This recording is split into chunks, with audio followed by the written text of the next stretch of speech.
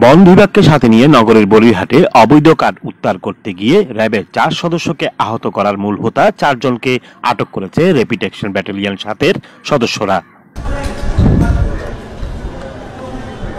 ঘটনার পর রোববার রাতেই পলিরহাট জুড়ে সারাশি অভিযান চালিয়ে এদেরকে আটক করা হয়েছে বলে জানান র্যাব সেভেনের সহকারী পরিচালক নুরুল আফসার।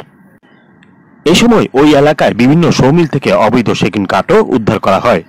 র্যাব জানান, রোববার দুপুর দুইটার দিকে অবৈধ কাঠ উত্তাল করতে গেলে মসজিদের মাইকে ডাকাত বলে লোকজন জড়ো করে হামলা করা হয় র্যাব সদস্যদের উপর।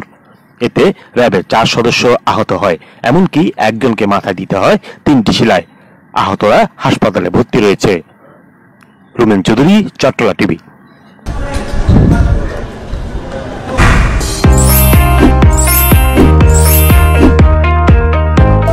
চট্টলা টিভি। ইতিহাস ঐতিহ্যের প্রতিচ্ছবি।